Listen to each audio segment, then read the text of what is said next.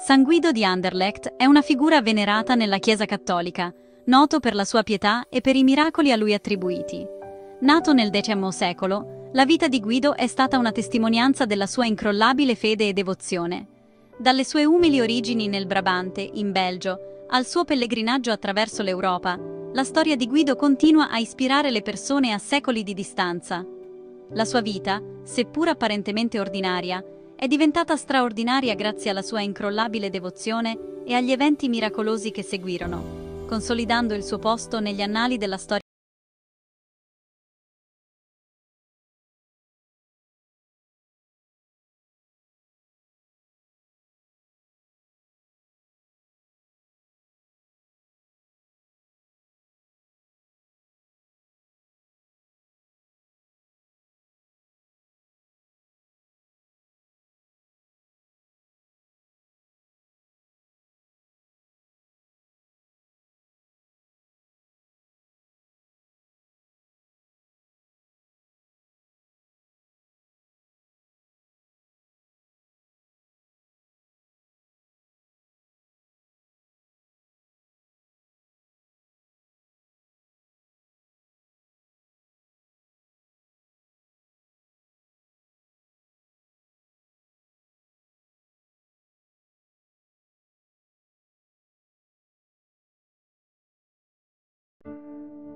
All'età di 33 anni, Guido decise di lasciare la sua casa e intraprendere un pellegrinaggio a Roma, il cuore della cristianità.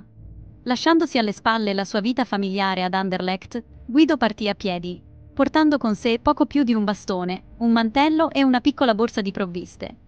Lungo la strada, Guido faceva affidamento sulla gentilezza degli sconosciuti per cibo e riparo.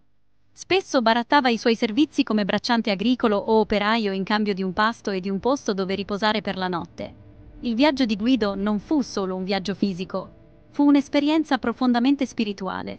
Trascorse innumerevoli ore in preghiera e contemplazione, cercando conforto e guida da Dio. Il pellegrinaggio di Guido fu una testimonianza della sua incrollabile fede e del suo desiderio di approfondire il suo legame con il divino. Dopo mesi di duro viaggio, Guido raggiunse finalmente Roma, la città eterna e il centro del mondo cattolico. Per Guido, arrivare a Roma fu un'esperienza profondamente emozionante. Trascorse diverse settimane ad esplorare le numerose chiese e basiliche della città, meravigliandosi della loro grandezza architettonica e delle reliquie dei santi che ospitavano. Guido visitò le tombe di San Pietro e San Paolo, i due grandi apostoli che avevano portato il cristianesimo a Roma da Roma, Guido proseguì il suo pellegrinaggio verso est, recandosi in Terra Santa, il luogo di nascita di Gesù Cristo. Visitò Gerusalemme, Betlemme e Nazareth, camminando sulle orme di Gesù e riflettendo sugli eventi della sua vita, morte e risurrezione. Il viaggio di Guido in Terra Santa fu il culmine della sua ricerca spirituale. Aveva raggiunto la fonte stessa della sua fede e provava un profondo senso di pace e appagamento. Dopo sette lunghi anni, Guido decise di tornare in patria. Portava con sé non solo i ricordi dei luoghi sacri che aveva visitato, ma anche un rinnovato senso dello scopo e un cuore traboccante di gratitudine per le esperienze che aveva avuto la fortuna di vivere. Al suo ritorno ad Anderlecht, Guido fu accolto come un uomo cambiato. Il suo viaggio lo aveva trasformato, infondendogli un profondo senso di pace e un'aura di santità che attirava le persone a lui. Condivideva i racconti dei suoi viaggi, ispirando gli altri con le sue storie di fede e perseveranza. Le persone erano attratte dall'umiltà di Guido e dalla sua evidente pietà. Continuò a vivere una vita semplice, dedicandosi alla preghiera, agli atti di carità e al servizio alla sua comunità. La vita di Guido divenne una testimonianza del potere trasformativo del pellegrinaggio, dimostrando come un viaggio di fede potesse approfondire il proprio rapporto con Dio e ispirare gli altri a cercare una connessione più profonda con il divino. Nonostante la sua salute robusta durante il pellegrinaggio, gli ultimi anni di Guido furono segnati dalla malattia. Lo stress fisico dei suoi viaggi, unito alle dure condizioni di vita medievali, aveva indebolito il suo corpo. Eppure, Guido non si lamentò mai delle sue sofferenze. Sopportò la sua malattia con pazienza e dignità, vedendola come un'opportunità per unire la sua sofferenza a quella di Cristo. Con il declino della sua salute, Guido cercò conforto nella preghiera e nella meditazione. Trovò conforto nei sacramenti della Chiesa, ricevendo la Santa Comunione e l'unzione degli infermi. Circondato dall'amore e dalle preghiere della sua comunità, Guido esalò l'ultimo respiro il 12 settembre 1012, all'età di 62 anni. Guido fu sepolto nel cimitero della chiesa di San Pietro, la stessa chiesa dove aveva prestato servizio da giovane. Negli anni successivi alla morte di Guido, la sua tomba fu in gran parte dimenticata. La semplice lapide che un tempo identificava la sua ultima dimora cedette alle ingiurie del tempo e degli agenti atmosferici, lasciando la sua tomba anonima e inosservata. Il flusso un tempo costante di pellegrini si ridusse a un rivolo. I loro ricordi del pio pellegrino si affievolivano con il passare delle generazioni.